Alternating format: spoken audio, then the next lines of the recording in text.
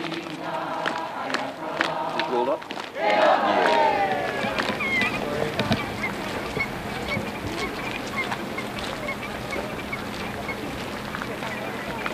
So if you have a car inside the Pu'uhonua that will block him from coming in, please go and move it. Okay? Uh, my name's Crystal Tubles. I'm Oglala Lakota, Northern Cheyenne.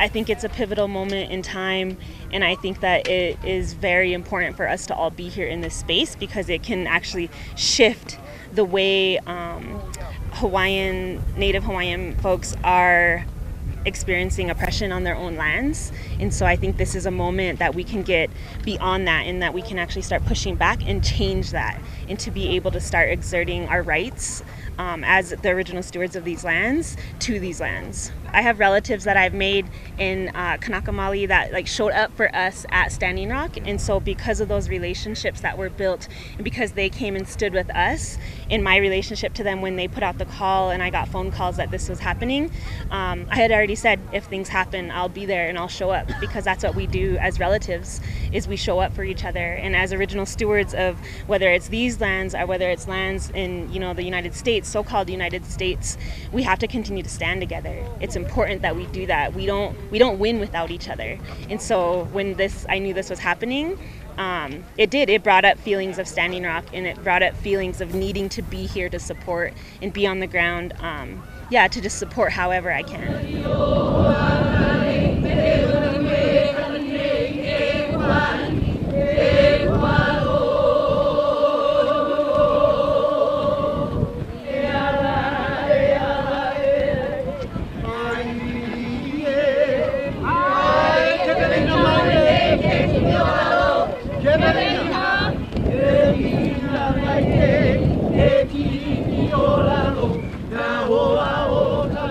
There's some similarities. I think Standing Rock was really massive. Um, and, but one thing that I think is really beautiful here is that the cohesion of the people and the ability to really work together. And to me, that's just really beautiful and really grounding, and how grounded in prayer this whole movement right now is. Mean, we do see the same response from the state, and you know, the state uses the same playbook and the same template to respond to Indigenous people's resistance, right? And so we do see that the use of like declaring a state of emergency, the use of riot gear, SWAT teams, LRAD, bringing out the National Guard, we see that same template.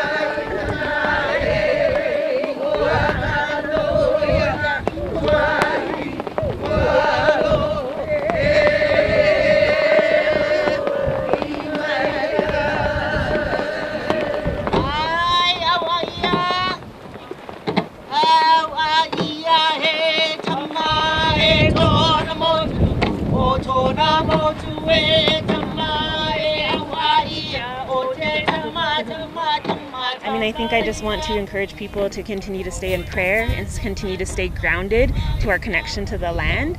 Um, you know, we see major uprisings right now of indigenous resistance all over the world. It's not just happening here. I mean, we've seen it in Puerto Rico, we're seeing it down on the border in so called United States, we're seeing it um, with organizing happening around suicide rates with Native youth, um, we're seeing it in Cuba, we're seeing it in all these different places, right? And we are all, um, you know, the original stewards of these lands. And so I think it's important for us to continue to stay in prayer, continue to stay connected to the land, and continue to stand together because we don't we don't win without each other and to me that's really important is that we continue to be there for each other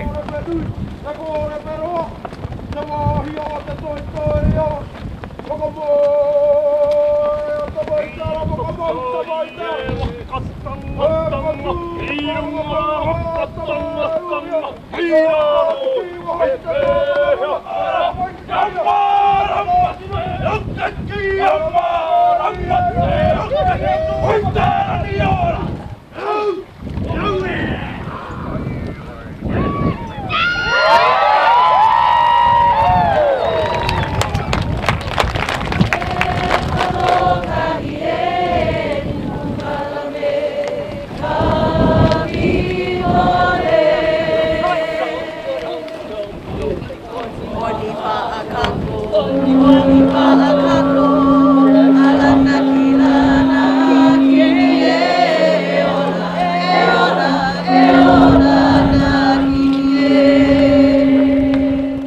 afternoon. Once again, I'm Dan Dennison, the Senior Communications Manager for the Department of Land and Natural Resources, and I'm speaking on behalf of the Mauna Kea Communications team.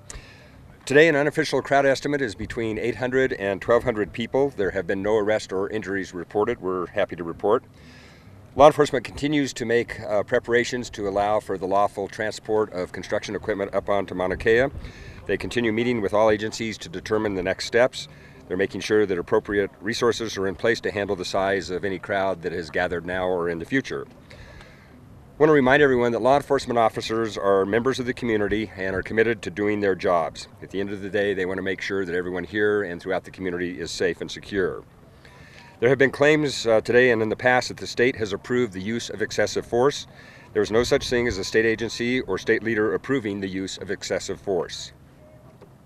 This rhetoric like this that the state is preparing for quote unquote war is being used on traditional and social media. It is dangerous and false. No actions by law enforcement since the protests started support any of these assertions. For safety and security purposes, we cannot comment, as you know, on the operational planning of law enforcement activities. I know that we've provided this answer uh, quite regularly to the media, and we're not trying to be ev evasive. There are obviously legitimate reasons for law enforcement not providing operational details.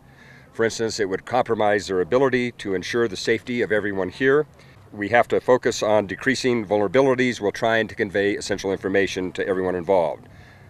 Access to Mauna Kea Access Road remains closed for safety reasons uh, from the point behind, behind me and up to the mountain. And as you all know, the emergency proclamation from Governor Ige remains in place. And as you also know, it provides law enforcement increased flexibility and authority to close more areas and restrict access on Mauna Kea as law enforcement sees fit to ensure public safety and security. And I'll take questions. Any idea what Gov Governor Ige has been doing since he arrived on the island? I have no idea whatsoever.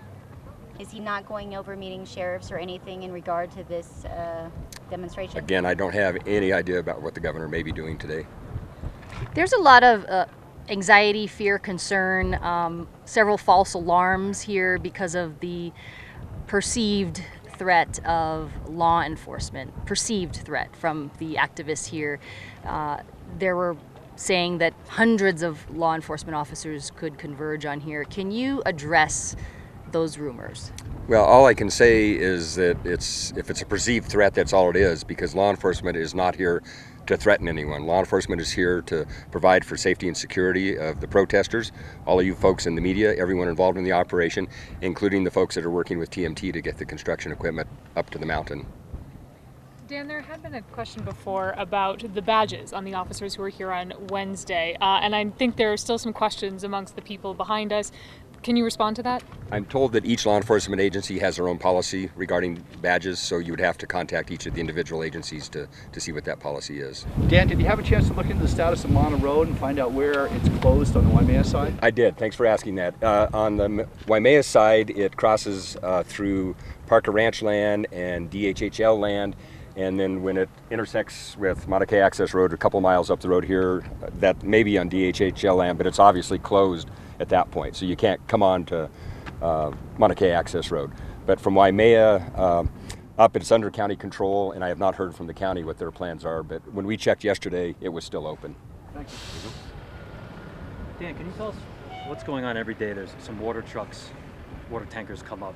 Tell, tell us what's going on. I believe that's just to restock the, the water tanks at uh, uh, Hale uh, Pōhaku.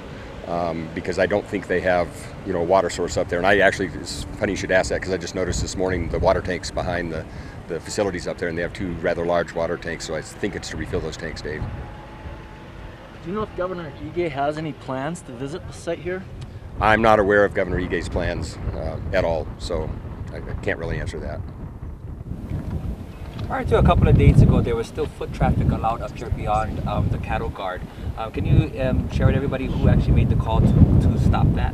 I think law enforcement did, based on the emergency proclamation. It was a law enforcement call, but I don't know which agency. It's a unified command here, so it was likely made by the unified command. Because actually, that was um, that was actually made about uh, two days before the emergency rules. Um, that they, we, were, we were informed that there were no longer foot traffic allowed. Um, would that be a Hawaiian Homes? Uh, I, I know where people were going. It was on uh, DHHL land, um, so it, it could have uh, been their decision. So I don't know for sure. Lanakila will have to get back to you on that for sure. Yeah. What was the actual emergency? There's no hurricane, there's no lava flow. What's the emergency? Um, I think that I would rather defer that to the, the governor's office because I, I don't know uh, how they develop that, but it is an emergency proclamation. The way I understand it, it gives the governor broad authority uh, to, to issue these, these proclamations based on something happening now or something predicted in the future. Typically, if there were a violent situation or a riot, then the governor of whatever state that is issues an emergency proclamation. In this case, there was no violence. So again, why would there be an emergency proclamation? I think every state has their own rules, and so I can't address why the governor decided to issue the emergency proclamation. Um, at the first, I guess, meeting of law enforcement uh, coming in to try to remove uh, the Kia'i from the road, they swept them to the side and they were allowed to peacefully remain on the side. And only the people across the road were the ones that could potentially be arrested.